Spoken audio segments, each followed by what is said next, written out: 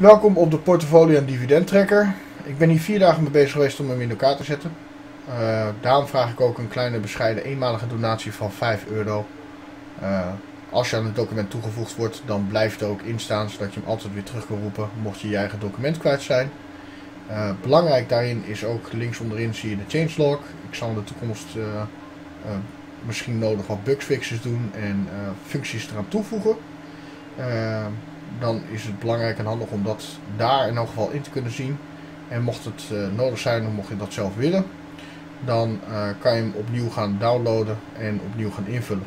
Helaas is dat wel de enige manier om dat te doen.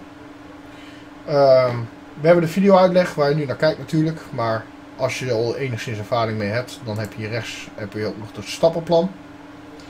Die kan je volgen. Uh, vrij duidelijk. En we hebben een linkje hier naar de Discord channel van Passief Inkomen. En natuurlijk de YouTube video staat hier aan de linkerkant ook nog. Laten we snel naar de portfolio gaan. We hebben links onderin hebben wij hier een aantal tapjes. Tutorial, portfolio, dividend tracker, changelog en platformen, apps en brokers. We gaan naar de tab portfolio. En dan zien we hier eigenlijk al uh, de complete portfolio. Uh, waarin we vrij weinig voor hoeven in te vullen. Om alle informatie automatisch uh, naar boven te kunnen krijgen. Uh, hij is heel makkelijk in gebruik. Maar voor de beginnende belegger zal waarschijnlijk wel een hoop informatie zijn. Die, die voor een beginnende belegger nog niet begrijpbaar is. Voor iemand die al een tijdje belegt zal dat allemaal wel gesneden koek zijn. Uh, en uh, kan je natuurlijk altijd in de Discord channel aan andere mensen vragen hoe zij dit gebruiken.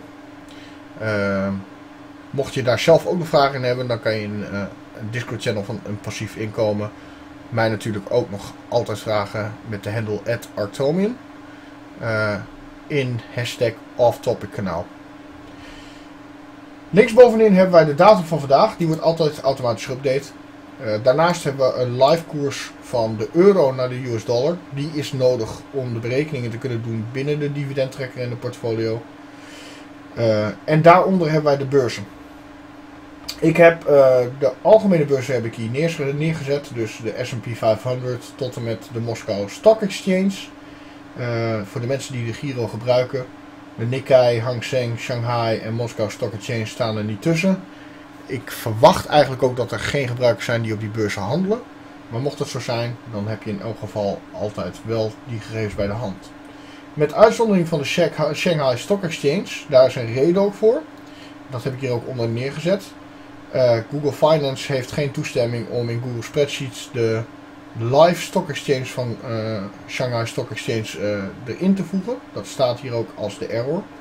Maar ik laat hem er wel in staan voor het geval dat dat in de toekomst gaat veranderen. Daarnaast heb ik ook nog de valuta waarin de beurzen handelen. Dus in de Amerikaanse beurzen is dat de, uh, de dollar.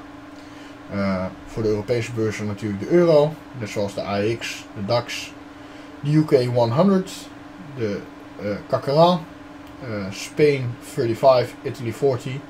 Dan hebben we natuurlijk de Nikkei, wat de Japan yen is. Dan Seng wat de Hongkong dollar is. Shanghai Stock Exchange wat de eh, Chinese yen is. En de Moskou Exchange is de roebel. Dan gaan we linksover naar de gegevens die je moet invullen. Alle blauwe velden moet je zelf invullen. De rest wordt automatisch opgeroepen. Dus sector is iets wat je zelf moet invullen. Daar komen we zo meteen even op terug. De ticker de aantal aandelen die je erin hebt, de aankoopdatum en wat je totaal betaald hebt in dollar. Ook daar kom ik even op terug. De hele berekening die in, uh, in de, deze tracker is gemaakt is op basis van de dollar. Vraag me ook niet waarom. Maar uh, dat moet dus even berekend worden. Daar heb ik een rekenhulp voor aan de rechterkant gemaakt. De witte velden worden automatisch ingevuld aan de hand van die gegevens. Uh, dat zijn dus de bedrijfsnaam, de actuele prijs, gekocht voor de prijs, de totale waarde, percentageverandering, de dollarverandering, de volume van je portfolio, dagen in je bezit, het dividendprijs per stuk, de dividendratio, de yield ervan, de ex-dividend datum, rendement op kosten, totaal dividend, wat vandaag het percentage was en hoe hij heeft gehandeld tegen de S&P 500. Hieronderin zien wij een klein veld wat totale inleg is. Dat is ook eentje die je altijd zelf dagelijks, of zolang je er uh, zelf je administratie op doet, uh, moet invullen. Daaronder zien we de winst uh, en verlies die je erop maakt. De kosten in Amerikaanse dollar en in euro. En het vrij te investeren geld, wat je ook elke keer moet bij, bijhouden. Wat eigenlijk voor Giro gebruikers de vrije ruimte is. Uh, daarnaast uh, zie je uh, de waarde in Amerikaanse dollar, in euro en totale waarde van je account. Daaronder zie je de percentage veranderingen, de veranderingen op de dollar en op de euro, de waardes van de S&P 500, de Nasdaq, de Dow Jones en de AX. Daarnaast heb je de rendement op kosten, het jaarlijkse inkomen en het totaalinkomen. Hieronder zie je de sectoren. Uh, ik hou ervan om mijn aandelen in sectoren te, te kunnen, uh, kunnen stoppen. Zodat ik het volume van mijn portfolio kan, uh, kan inzien. Aan de rechterkant vinden wij een veld wat ook weer bijgehouden moet worden. Dit zijn twee blauwe velden. Ehm, waarin je de dividend die uitgekeerd is per maand in het jaar waarin je zit en de totale waarde van je portfolio in die maand. Ik adviseer je dan ook om dat altijd aan het einde van de maand te doen, rond de 30ste. We hebben hier de snelle rekenhulp, dat is de valuta-rekenmachine, uh, waarin je het eurobedrag kan invullen en er vervolgens een Amerikaanse dollarbedrag of een Britse pond uitkomt. Die Amerikaanse dollarbedrag die ga je zometeen nodig hebben om de. Uh, eh, de, de totale bedrag wat je in dollar ervoor betaald hebt in te kunnen vullen. Daaronder zie je een grafiek, dat zul je zo meteen ook zien als we hem ingevuld hebben met het totale volume van sectoren waar je je aandelen in hebt zitten. En als je zometeen uh, deze voor een gedeelte hebt ingevuld, dat zal ik je zo meteen ook laten zien, dan zul je dat in deze grafiek terugzien. En dat is de grafiek jaardividend, uitkering en portfoliowaarde. In de tweede tab vinden wij de dividendtrekker. De dividendtrekker houdt feitelijk gezien bij hoeveel dividend jij per aandeel krijgt in welke maand, in het kwartaal en in het jaar. Aan de linkerkant zien we de maanden en de jaren. Ik heb hem door laten lopen tot 2023. Eh, daarna uh, zal je het zelf moeten doen of zal ik hem waarschijnlijk updaten. Rechts daarvan zie je de aandelenlijst met de meest belangrijke informatie die daarvoor nodig is. Ook deze wordt automatisch ingevuld en dan zien we vier tabellen. Uh, zoals ik al zei, ik heb hem van 2020 tot en met 2023 ingevuld. Dus ik heb ook vier tabellen ervan gemaakt. 2020 tot en met 2023. Daaronder vinden wij nog de dividendrekenaar met de Yahoo Finance. Die is nodig voor de portfolio, namelijk om je dividend te kunnen trekken.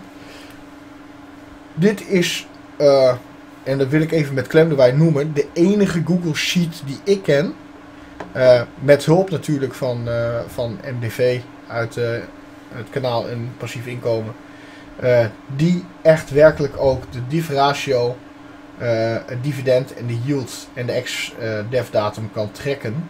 En dat komt omdat deze Google, Google Spreadsheet gemaakt is met behulp van Google Finance, maar ook Yahoo Finance. En om deze informatie te kunnen trekken, hebben wij een monsterformule voor moeten maken. Ik kan hem je ook wel even laten zien. Even kijken. Zoals je ziet, het is geen gezellige formule. Aan de linkerkant zien we nog het dividendinkomen over de jaren die er nu in staan. En ook die wordt automatisch ingevuld aan de hand van uh, de tabellen die hiernaast staan. Dan hebben we de changelog. In de changelog ga ik bijhouden wat de nieuwe functionaliteit is. Daar uh, kunnen we over praten in het uh, Discord kanaal van een passief inkomen in het off-topic kanaal. En als het uh, goed is waar iedereen om vraagt, dan kunnen we dat erin bouwen. En dan wordt die geüpdate. De bugfixes heb ik hiernaast gezet. Als er fouten in de formules zitten of iets doet het niet meer, dan gaan we dat proberen te repareren. En als dat gerepareerd is, dan zal ik dat hier ook inzetten. De laatste is het platform, uh, apps en brokers informatie. Dat is gewoon een handige, simpele spreadsheet om je onderzoek op te doen. Links zie je de brokers. Die uh, geef je weer met een omschrijving. De pluspunten en de minpunten. Dan kan je hier naar de website gaan. Je kan de Android Play Store kan je erop klikken en de Giro Apple Store. Dus op het moment dat jij deze spreadsheet opent op je mobiel, kan je ook simpelweg daarop klikken. En dan hoef je niet uh, uh, naar de Play Store of naar de, de App Store. daarnaast hebben we de onderzoekwebsites. Ook deze moet ik nog zelf bij gaan vullen. Waarin je simpelweg naar deze websites kan gaan om jouw informatie te zoeken voor aandelen die, waar je interesse in hebt. Ehm, voor nu heb ik een Yahoo Finance, Seeking Alpha en MarketWatch IPO ingezet. En aan de rechterkant ga ik meer focussen op de um, apps, de mobiele apps die gebruikt worden om snel, simpel uh, notificaties en informatie te kunnen krijgen over nieuws of aandelen. Goed, laten we snel beginnen. Want dat is uiteindelijk waar we toch allemaal wachten. Met de portfolio gaan invullen met live, een live voorbeeld. Zoals ik al zei, we hebben een aantal velden die we moeten invullen. Uh, belangrijkste hiervan zijn er vijf. Deze twee en uiteindelijk deze twee. Ik ga even wat informatie erbij zoeken. En dan gaan we, gewoon, uh, gaan we het gewoon even invullen. De eerste die ik erin ga doen is, uh, nou, laten we zeggen alfabet. Ik begin met een ticker. Dat is G-O-O-E.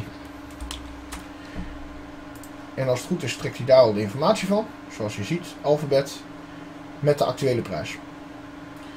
Het tweede, als voorbeeld wat ik even ga doen, is het aantal aandelen. Ik heb er 12 van gekocht en dan zien we al dat hij gekocht is voor 0 euro. Dat klopt ook, want ik heb nog niet een totaal betaald in dollar erin geïnvesteerd. En uh, de totale waarde van de, uh, van de aandelen. De dollarkoersverandering, volume van mijn portfolio is 100%. En dagen in bezit staat 43919, maar dat komt zometeen ook allemaal nog wel te veranderen. De volgende die ik aan ga doen is de aankoopdatum. Nou, laten we even een voorbeeld nemen dat ik hem uh, nou, 20 dagen geleden gekocht heb. Dan typ ik 2003 2020 in. En dan zien we al dat het aantal dagen in mijn bezit verandert in 9. Het totaalbedrag wat ik ervoor betaald heb in dollars.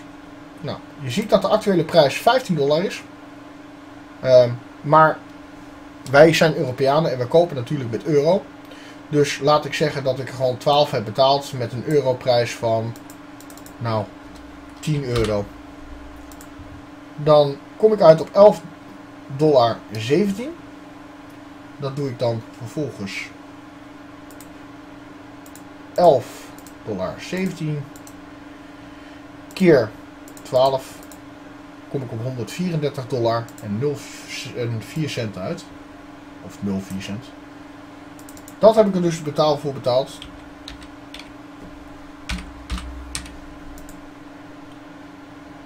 mij moet dit een punt zijn.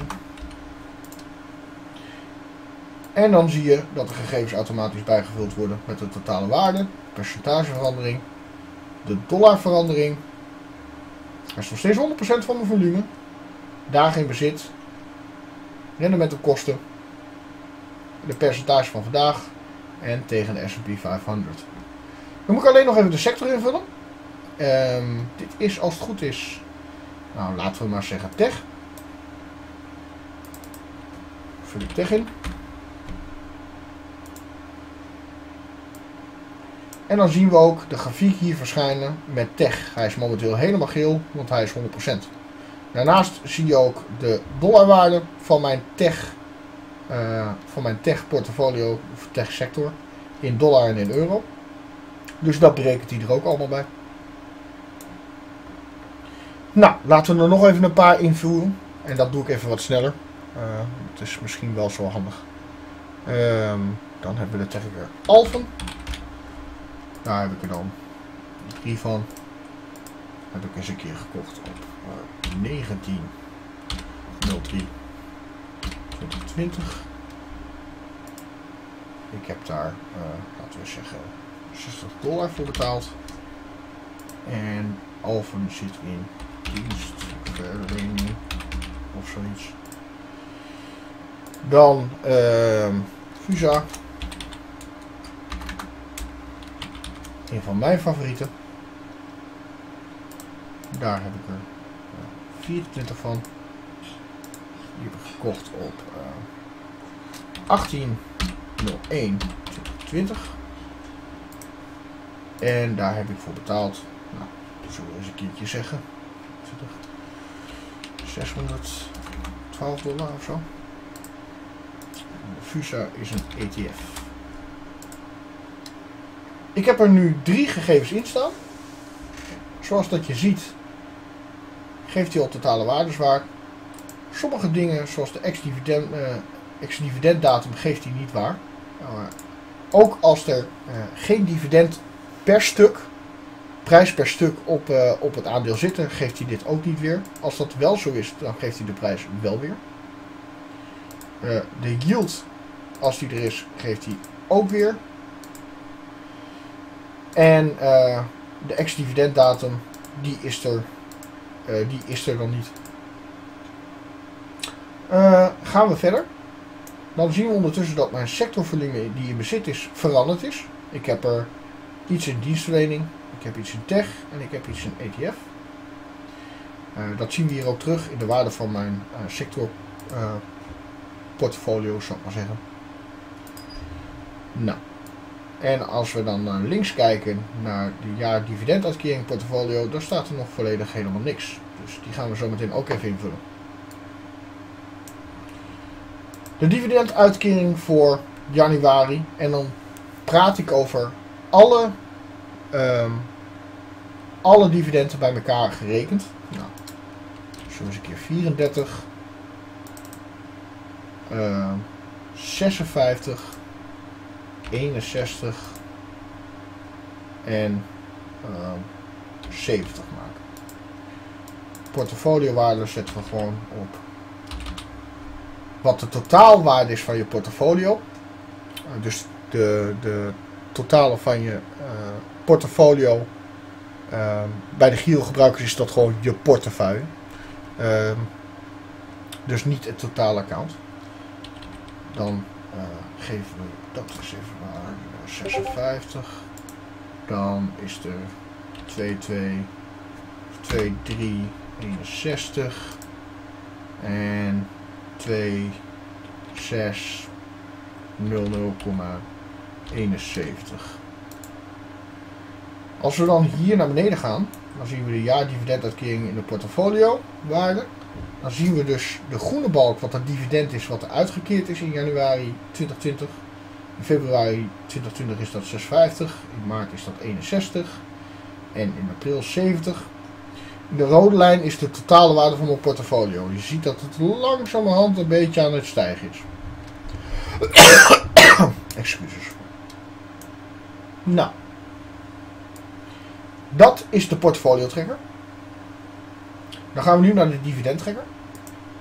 En dan zien we bij de dividendtrekker al gelijk automatisch wat gegevens ingevuld.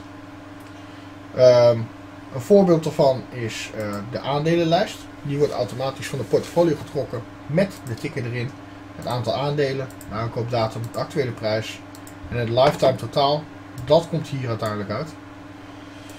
Dan gaan we dit ook uh, bijvoegen. Stel dat wij in, voor Alphen bijvoorbeeld uh, ehm, 50 euro aan in februari aan dividenduitkering hebben gehad. En we hebben dat in augustus alweer gehad. Dan zie je dat dus in totaal, de lifetime totaal van 2020, of de, 20, de totaal van 2020 100 euro is. Nou, als je um, uh, er een paar tussen zitten die geen, die een maand of een kwartaal eens een keertje over hebben geslagen qua um, dividenduitkering, dan maak je daar gewoon een kruisje van. Stel dat wij, oh dat is de verkeerde. Stel dat Vanguard juli besloten heeft om geen dividend uit te keren, maar dat in januari wel voor 1,12 euro heeft gedaan. Dan typ je dat dus zo in. Dan zien we hieronder, we zien in de tabel natuurlijk dat alles opgesplitst is in kwartaal. Dus dit is uh, uh, in vier gedeeltes opgesplitst. Daaronder zien we de maand totaal. Dus dit is de totaal van januari, februari, maart, april, mei, juni, juli enzovoort. Daaronder zien we het kwartaal, uh, wat dus uh, de eerste drie maanden is, de tweede drie maanden, de derde maand drie maanden en het jaartotaal, uh, wat alle vier de kwartalen bij elkaar opgeteld zijn. We zien dat, dat de velden automatisch, per, automatisch bijgevuld worden per, per tabel. En ik ga zo meteen uitleggen hoe, hoe we dat doen als het jaar voorbij is. Um, dan hebben we hier als laatste de dividendrekenaar. Deze, zoals dat ik al gezegd had, is nodig van Google Finance en Yahoo Finance om de dividend te kunnen berekenen. De waarden hiervan uh, zijn te zien en deze worden dus doorgesluist naar de portfolio. Mijn advies is hier ook om hier niet aan te gaan, uh, te gaan rotzooien heeft aardig wat tijd gekost om dit in elkaar te rekenen. En zover ik weet uh, is er nog niet iets in, uh, in een Google Spreadsheet wat dat hetzelfde uh, kan doen. Goed. Um, dan ga ik even uitleggen snel hoe, dat hoe we dat gaan doen als het jaar voorbij is. Laat ik eerst even beginnen met iets anders. En dat is wanneer jij meer dan 17 waardes aan aandelen hebt. Dus je ziet dus dat ik totaal 17 velden heb gemaakt voor 17 verschillende aandelen. Stel dat je nou een grotere portfolio hebt, stel dat je iets van 50 aandelen hebt of wat dan ook. Uh, dan kan je dat gewoon vergroten door simpelweg uh, uh, van kolom F helemaal door te slepen naar kolom Z. Rechtermuisknop, insert cells en shift down. De jaardividend portfoliowaarde is een, een, een grafiek, dus die kan je gewoon verslepen naar verder naar onder als je dat wil. Als die in de weg zit in elk geval als je meer aandelen hebt. Als je dat doet, dan zijn er meer waardes die je moet veranderen. Uh, een van de waardes die je bijvoorbeeld moet veranderen in de dividendtrekker is uh, de aandelenlijst. Dus stel dat jij in portfolio er 12 extra bij gecreëerd hebt, dan moet je dat ook in de aandelenlijst 12 extra bij creëren. Datzelfde geldt voor de tabellen. Ook in de tabellen moet je er 12 extra bij creëren. Dat doe je op precies dezelfde manier als bij de portfolio. Als laatste, en dat is de enigste, uh, enigste keer dat je eigenlijk in de dividendrekenaar met Yahoo Finance een verandering in maakt, is dat je dit ook, de, de, de, de, de dividendrekenaar, ook 12 posities bij moet gaan, uh, gaan zetten.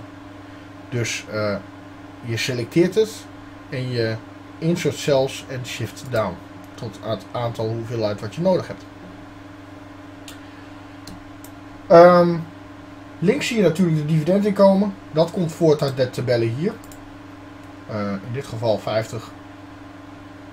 Uh, ehm, nou, goed. De manier als het, als het bijvoorbeeld het jaar voorbij is, dus uh, 2021 voorbij is, uh, je wil niet zometeen met een hele bende tabellen hier gaan zitten. Dan moet je helemaal naar rechts scrollen. Als, je in, als we in 2029 zitten, moet je helemaal naar rechts scrollen om de juiste tabel erbij te pakken. Hoe je dat doet, is je selecteert kolom A tot en met kolom AA. Rechtermuisknop en hide columns. Dat ging niet helemaal goed. Dat zal ik nog een keertje proberen. Het is vanaf kolom O tot en met kolom A. Selecteer muisknop rechterbuisknop en hide columns. Dat is apart. Dat doe ik niet.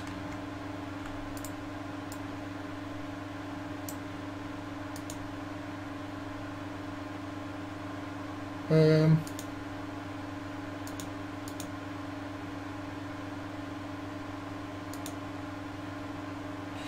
Daar ga ik nog even naar kijken. Nou, dat is in elk geval wel zometeen hoe, ehm, hoe de columns ehm, hier is. Hide columns van O naar AA. Dan blijf je alleen met deze tabel over. En ik merk net dat hij uiteindelijk dat ook heeft weggehaald. Dat is niet helemaal de bedoeling. De portfolio trekken we nog van. Die doet het nog wel. Oké. Dat is apart. Maar dan zie je dus inderdaad dat je alleen de totalen van dat jaar ziet per aandeel. En het eindtotaal van het aandeel.